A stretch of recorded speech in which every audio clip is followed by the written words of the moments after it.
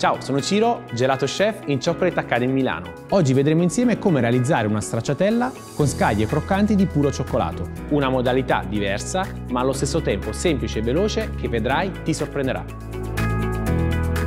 Iniziamo preparando il foglio di cioccolato.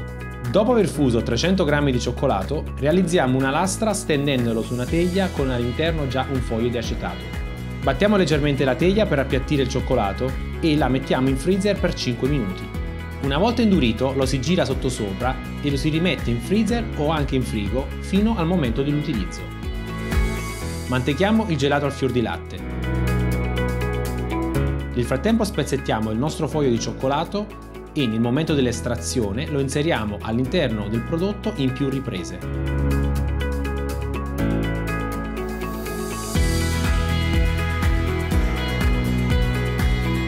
Teniamo da parte qualche scaglia più grande che ci servirà dopo per decorare la vaschetta.